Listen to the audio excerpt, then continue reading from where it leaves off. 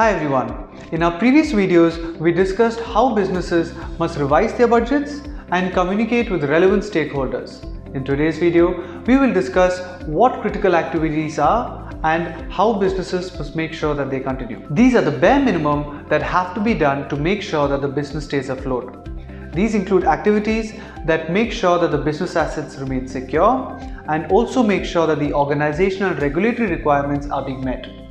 The company needs to list these activities one by one and make sure that these activities can continue in these unforeseen times. The critical activities vary from business to business.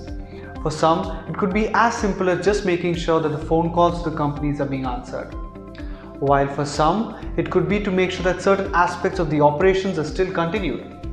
While for some others, it could be to make sure that you continue to serve your clients in these times. Businesses must firstly determine if they have the ability to run these activities remotely. They must see if they have the IT infrastructure in place. In most cases, implementing this is more easier said than done. There are many challenges associated with this. Do employees working from home have access to laptops, softwares, or ERPs to get the work done?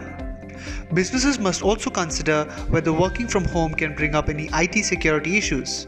If so, these need to be looked into as well.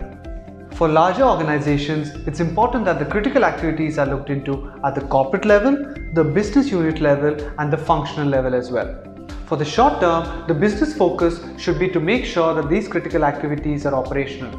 However, the possibility of some of these aspects becoming the new normal must also be considered. Which means, even if this crisis is behind us, the business should be able to continue these activities even if they have to work from home. Now that we understand the importance of these critical activities, in the next few videos we can get into the remaining steps. Thank you all for listening.